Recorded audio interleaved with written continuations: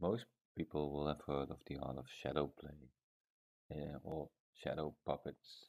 It's an ancient form of storytelling where you can see shadow figures behind a curtain with a lamp behind it telling well, all kind of different stories. You can also use shadow play as a way for children or students to tell a story. They can make cardboard figures, uh, maybe use servo motors, microbits to make a move. Or in this example, I just used my hand um, behind the curtain as a way to tell the story. Making the cardboard figures is relatively easy. Just think of the figures that you need, draw them on cardboard and use uh, an X-Acto knife to cut them out. But you can also use a vinyl cutter um, to cut out those figures. Um, the question then, of course, is how do you create those figures? You don't need to create the figures completely uh, on a laptop or digitally. You can have the students draw the uh, pictures, the images, then digitize them, and then convert them into uh, cutout cardboard. In this short video, I will show you how to do that with uh, a Silhouette Cameo. Okay, let's take this rocket as an example. The rocket you saw in the, the previous clip. Um, this rocket was designed just by using a marker, a, a black marker, um, and a piece of paper. And someone drew it. Uh, and you can see you need to have rather thick lines to make sure that um, the rocket is clearly visible. And you got to make sure that lines on the drawing are connected. Some small arrows like this one where, where an, uh, an extra line is added mm, probably isn't that bad, but you got to make sure that you got really good clear lines.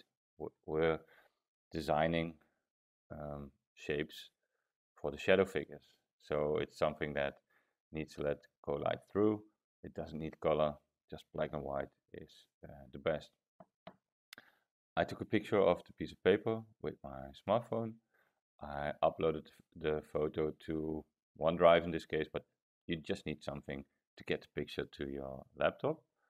Um, so, and on the laptop, I've got Silhouette Studio. I got the designer edition, so that's the paid version, but this also works in the in the free version. Um, I've got uh, the cutting mat, 12 by 12 inch, and I use cardboard uh, 21 centimeters by uh, 14.9 centimeters. So I've set the page size to the correct size so I can see that um, the white part of the page is the area that I can work in. So I start by, uh, this is in Dutch, but it says file open. And then you see I got a number of uh, pictures on my, uh, on my drive. I'll take the one with the rocket. I open it. And what you see is that you get a remark, low resolution, because it just shows the full picture but way too big for the page. So I usually zoom out press shift and then take the bottom right corner just move it all the way in and then zoom in a bit again. Okay and some more now you see we got the picture I can move it a bit more we're just going to use the, the the rocket part of the picture but I can do that afterwards but this is just a picture. This is not something that I can have the laser cutter cut out.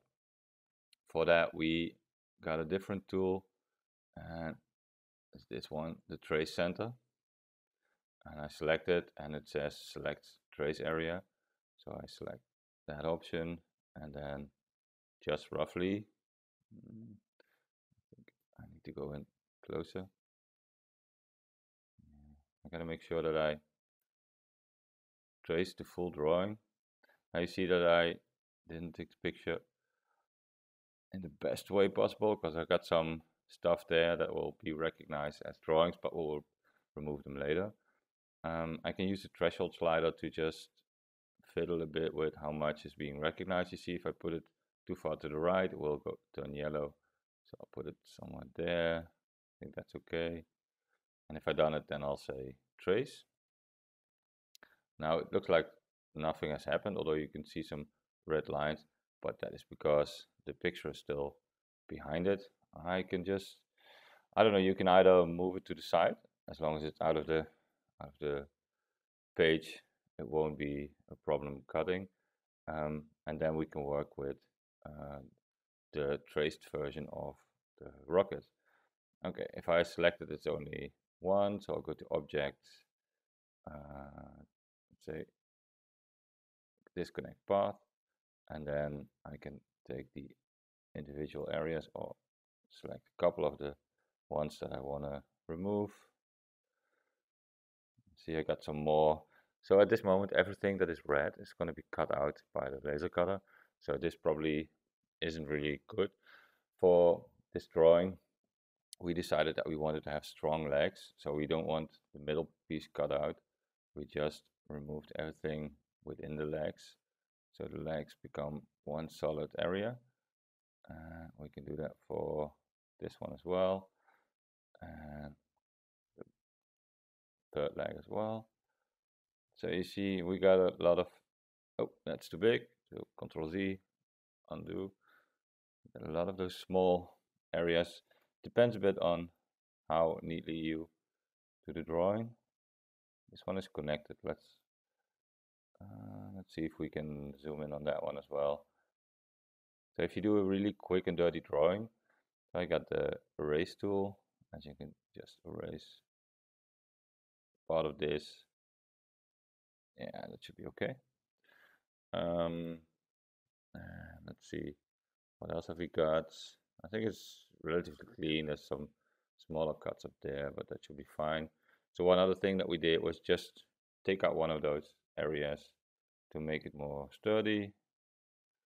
And basically that's it. There you got, you cleaned it up. And then uh, let's zoom out a bit more. So now we got all the different parts. Let's select them, say object and group.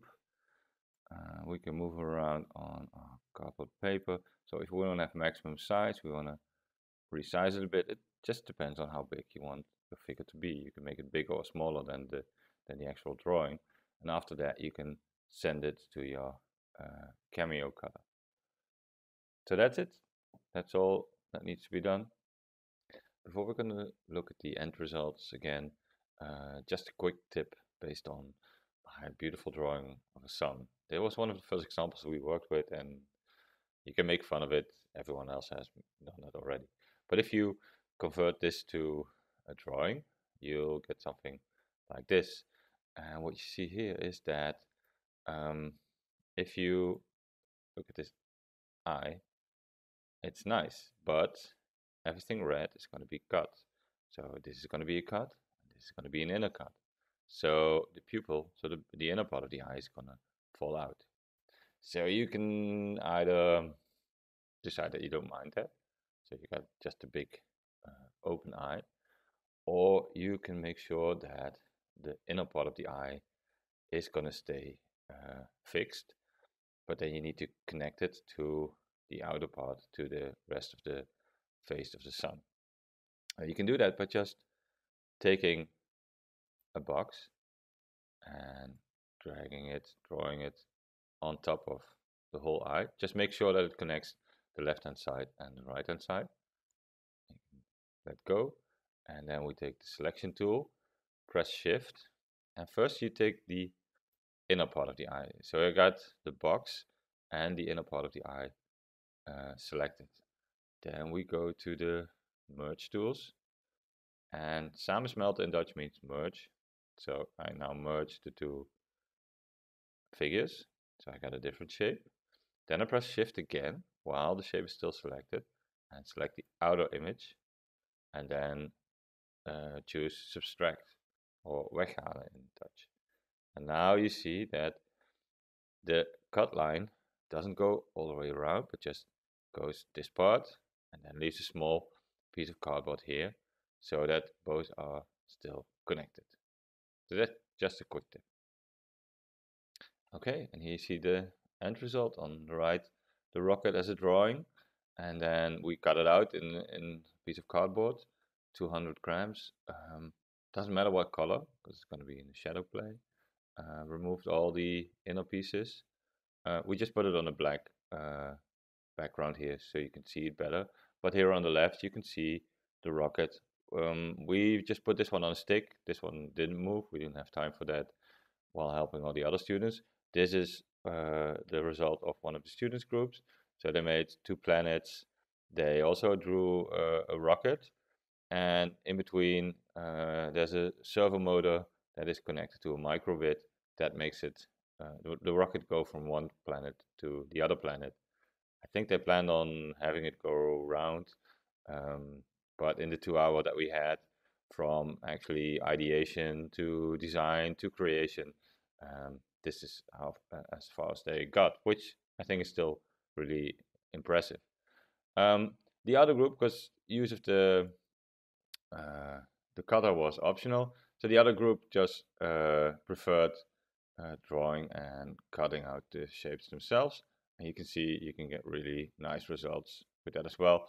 Um, and I think that is the way it should be. It's sort of like the vinyl cutter is uh, an additional tool for students to use. Uh, it, it shouldn't be mandatory. Um, it depends on what they prefer. Okay, thank you for watching.